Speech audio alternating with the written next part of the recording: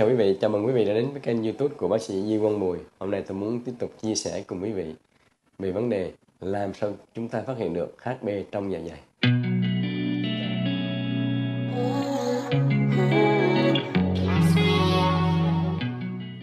Chúng ta đã biết qua video số 28 và 26 vi trùng HB có thể sống được trong dạ dày chúng ta là do tiết những cái men mà men này tạo ra những cái lớp để bảo vệ vi trùng này sống được còn những loại vi sinh vật khác thì không thể sống được. Thứ hai là vi trùng HB này sau khi vào trong cơ thể, chúng ta, nó có thể di chuyển trong niêm mạc dạ dày và có thể thải ra ngoài.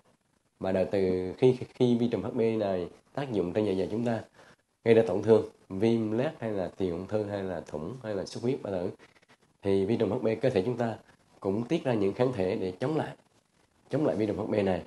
Và từ đó người ta phát hiện HB qua những cái test. Và cuối cùng là khi khi viêm HB này sống trong cơ thể chúng ta thì có thể di chuyển lên đường phân và ra ngoài. Nhờ đó chúng ta phát hiện được vi trùng HB này. Tóm lại, có hai phương pháp. Phương pháp thứ nhất là chúng ta phát hiện vi trùng HB theo đường xâm lấn, tức là chúng ta phải nội soi. Trường hợp chúng ta không cần nội soi mà người ta phản phát hiện HB đó là phương pháp không xâm lấn. Như vậy, phương pháp xâm lấn, tức là chúng ta nội soi thì chúng ta có thể phát hiện vi trùng HB thông qua clot test bác sĩ hay làm clot test cho chúng ta. Thứ hai là mô học tức là lấy mẫu mô sinh thiết để mà đọc vi trùng HB và thứ ba là chúng ta cấy. À, nếu trường hợp mà chúng ta làm clot test dương tính thì bác sĩ thường thường nếu có chỉ định cấy thì sẽ cấy vi trùng HB và làm kháng sinh đồ cũng như là làm PCR à, đối với trường hợp mà chúng ta không nội soi thì chúng ta có thể phát, phát hiện vi trùng HB thông qua thứ nhất là đường thở tức là GPT tức là một kỹ thuật phát hiện HB thứ hai là trường hợp chúng ta phát hiện HB qua đường phân.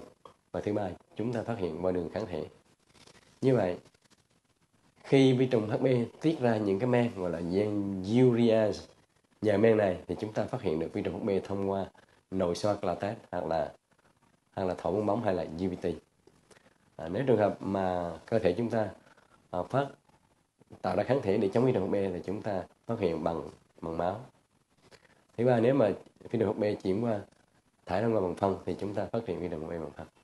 Như vậy, khi chúng ta phát hiện HB thì ý nghĩa như thế nào? Khi chúng ta nội soi thì bác sĩ thường hay làm một cái test gọi là clot test. Clot test tiếng Anh là Campylobacter Light Organization Test. Đây là một kỹ thuật phát hiện phát hiện vi trùng HB bằng cách Ừ, khi mà bác sĩ nội soi lấy một mẫu sinh thiết bỏ vào cái lọ urea. Nếu có vi trùng HB thì vi trùng HB sẽ tiết ra cái men gọi là urea sẽ chuyển ure thành một cái chất gọi là NH4 là màu trường kỳ, làm cho urea màu vàng chuyển thành màu đỏ hoặc là màu cánh hồng. Thì như vậy chúng ta chúng ta phát hiện ra vi trùng HB và giá trị của nó trong vòng 30 phút hoặc là đến một giờ.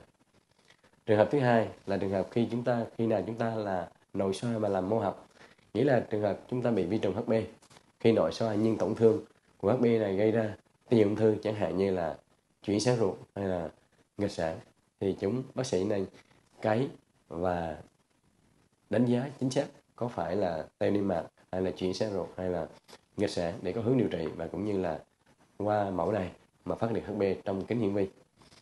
Trường hợp thứ ba là chúng ta, bác sĩ cho đi kiểm tra HB thông qua cấy. Tức là khi chúng ta được điều trị hai phát đồ kháng, điều trị HB mà hai phát đồ mà hai phát đồ cực mạnh mà không lành thì bác sĩ thường cho cái. Thì cái mục đích để, thứ nhất là phát hiện vi trùng HB nó nhạy cảm với kháng sinh loại gì. Để từ đó chúng ta biết được loại kháng sinh để mà diệt vi trùng này. Thứ hai là khi cái, bác sĩ cho làm PCR đây là một cái test định cái gen độc lực của vi trùng HB nếu là vi trùng HB này có cáp A dương tính hay vách A dương tính và cái S1M1 nghĩa là vi trùng HB này rất độc. Gây ung thư thì chúng ta bằng mọi giá phải, phải diệt vi trùng này. Còn những trường hợp các A âm tính hay là phát âm tính X2M2 chẳng hạn thì đây là những HB rất là hiền và chúng ta cũng không quan tâm không lo lắng lắm. Và trong thực tế lâm sàng thì chúng ta làm thế nào để phát hiện HB một cách hiệu quả và có lợi cho điều việc điều trị? Thứ nhất nếu chúng ta đi nội soi dạ dày mà chúng ta chỉ có viêm xuất huyết hay là viêm sung huyết có vi trùng HB thì sau khi xong điều trị, chúng ta nên test thổ bong bóng. Thì thổ bóng giúp chúng ta, thứ nhất là đánh giá vi trùng HB được rộng hơn. Vì nếu chúng ta mà nội soi lại, thì bác sĩ chỉ lấy được hai điểm để kiểm tra vi trùng. Thì nhiều khi những vị trùng khác, những vị trí khác có thể còn còn vi trùng mà chúng ta sẽ bị sót. Trường thứ hai, nếu chúng ta bị lét dạ dày mà có vi trùng HB thì chúng ta nên nội soi là kiểm tra dạ dày sau 2 tuần đến 4 tuần để kiểm tra ổ lét lành chưa. Vì nếu chúng ta để trễ hơn thì rủi mai, chẳng may mà nó bị tổn thương, ung thư giai đoạn sớm mà chúng ta để khoảng 2 3 tháng sau thì tổn thương diễn tiến rất là xấu. Như vậy chúng ta nên soi từ 2 đến 4 tuần để coi ổ lét có lành, có đáp ứng điều trị hay không. Vì mỗi tuần điều trị thì ổ lét sẽ lành được 3 mm. Nếu 2 tuần sẽ lành được 6 mm và tiếp theo. Từ đó bác sĩ sẽ đánh giá được đáp ứng của ổ. Và sau khi ổ lét lành rồi thì chúng ta nên kiểm tra HB lại bằng test hơi thở, hoặc là những phòng khác. Thứ ba, nếu chúng ta bị tê niêm mạc dạ à, dày chuyển sáng ruột hay là ngược xả nhé hạn mà không thấy vi trùng HB trong nội soi. Thì chúng ta sau khi điều trị chúng ta ngưng thuốc 2 tuần. Nếu chúng ta dùng dùng kháng sinh thì chúng ta ngưng thuốc 4 tuần. Nếu chúng ta dùng à, uh, PPI đó là thuốc kháng thiết thì chúng ta phải ngưng 2 tuần để kiểm tra HB bằng phương pháp khác chẳng hạn như là tái thể thở xét nghiệm phân vân vân. Ở trường hợp à, tiếp theo đó là trường hợp chúng ta hay bị đó là trường hợp bị xuất huyết. Xuất huyết bị bao tử xuất huyết dạ dày hay là chúng ta bị thủng thủng dạ dày, hay là trường hợp chúng ta bị sau khi mổ ung thư dạ dày, thì tất cả những trường hợp này sau khi điều trị, xử lý cầm xuất huyết, cầm thủng hay là điều trị ung thư dạ dày sớm, tất cả những bệnh nhân này, những đối tượng này sau khi ngưng thuốc 2 tuần, nếu mà dùng PPI còn nếu dùng kháng sinh thì ngưng một tháng, chúng ta phải kiểm tra lại HB bằng test hơi thở hay xét nghiệm phân vân vân. Và những trường hợp mà nếu chúng ta bị tê bao tử và chuyển sang ruột hay là nghịch xả nhất hạn mà chúng ta đã xử lý rồi. Và việc điều trị, trong vấn đề điều trị chúng ta phải kiên cử năm vấn đề. Trong video số 29 năm vấn đề làm cho bệnh nặng bệnh nặng lên. Và năm vấn đề chúng ta cần phải khắc phục. Trong đó đó là có vi trùng HB như vậy, mỗi năm chúng ta nên kiểm tra nội soi hoặc là chúng ta lại kiểm tra vi trùng HB để hạn chế vi trùng HB tác động vào những những cái tổn thương tiền ung thư này cũng như là teo dài dài hay là chỉ ruột làm nặng hơn.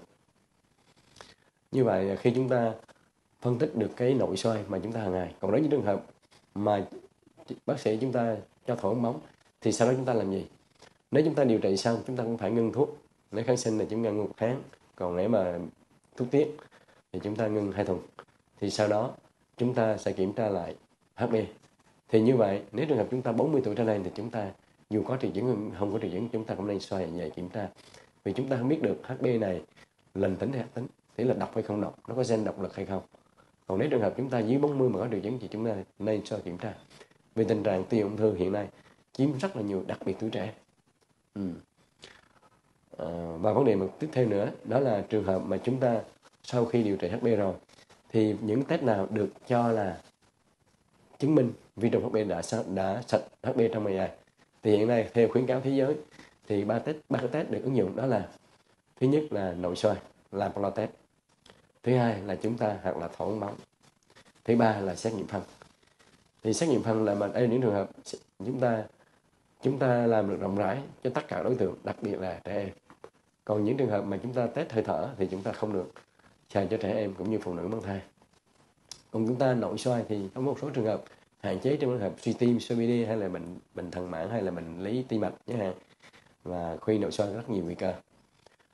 Tuy nhiên trong thực tế chúng ta biết rằng không phải mỗi test đều có độ chính xác 100%. Lý do hiện nay tất cả các test trên đều có độ chính xác khoảng 95%, độ nhạy và độ chuyên biệt khoảng 95%. Như vậy vẫn còn khoảng 5% có những cái test mà chúng ta không thể phát hiện vi trùng HB. Vì vậy trong thực tế việc việc để điều trị HB mà chứng minh rằng hết chưa thì đôi khi chúng ta phải cân nhắc. Thứ nhất, lần đầu tiên chúng ta nội soi, sau đó chúng ta thổi ống bóng nếu chúng ta thở ống bóng mà triệu chứng vẫn còn khó chịu, chúng ta có thể test nghiệm phân hoặc là test máu à. thứ ba là những trường hợp mà chúng ta, có nhiều trường hợp chúng ta thở ống bóng rồi, âm tính rồi, mà chúng ta như trên nêu đấy, như nêu trường hợp ở trên, triệu chứng không đỡ hay là triệu chứng có thể xấu đi, bắt buộc chúng ta phải làm test tiếp theo, có thể là phối hợp test test máu, test phân, chứ không thể là một cái đơn thuần nó rất ý nghĩa vì sao nếu chúng ta bị vi trùng HB mà sót thì nó sẽ tổn thương, có sẽ nặng nặng hơn và cuối cùng là cái test về máu.